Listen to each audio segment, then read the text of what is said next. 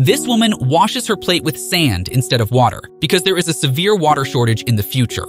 This man pays $50 for just a sip of water at a water station, and those who can't afford it have to drink old alcohol to survive. This family eats a weird, sticky thing every day to keep themselves hydrated. They have a large farm, but without water, it is completely useless. Every day, this man walks for miles with his son to deliver alcohol and other necessities to another village, and that is how they make a living. One day, the man talks to a water supplier about laying a water pipeline to his farm, but the supplier asks for such a large sum of money that it is out of his reach. Now, on their way back home, their donkey stumbles and falls, breaking its leg badly. Now, this donkey was just a burden to them, so the man takes out his gun and gets rid of it. And the next day, the man and his son go to the market and buy a robotic donkey, which costs them a lot of money. After that, the man's rich friend comes to visit him on a bike, and the man asks him if he can help him out with some money.